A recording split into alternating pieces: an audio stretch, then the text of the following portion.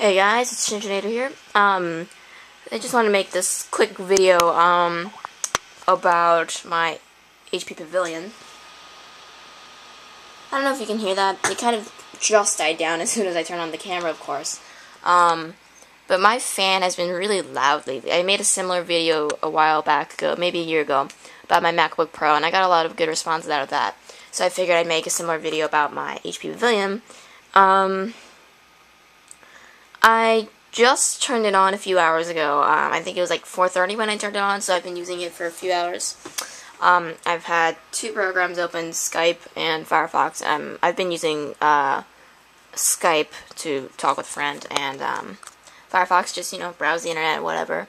Stuff like that. And um, the fan just gets super loud sometimes. I mean, to be fair, I do use my computer fairly um, often, and you know I do use it a lot. But just it, it'll the fan will get really loud after using it just for like a, a little bit, and only having like a program one program open. Um, really don't know if you can hear it. Um, I'll be quiet just for a second so you can. I'll see if you guys can hear it, but um, yeah, I don't. I don't really know. I mean.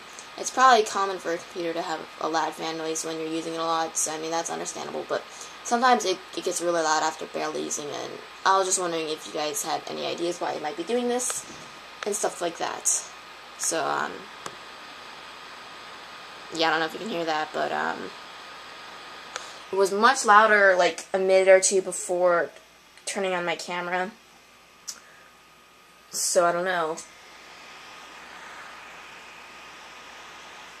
You might be able to barely hear that, I'm not sure, but, um, yeah, if you guys could let me know, I would really appreciate it. Thanks. See you guys later.